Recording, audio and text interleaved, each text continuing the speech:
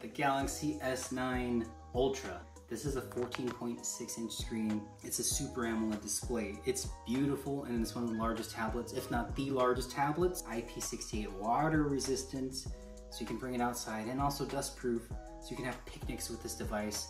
And with the expandable storage, you can store a bunch of your movies on here. So it's two times as bright. The front facing cameras are 12 megapixel cameras.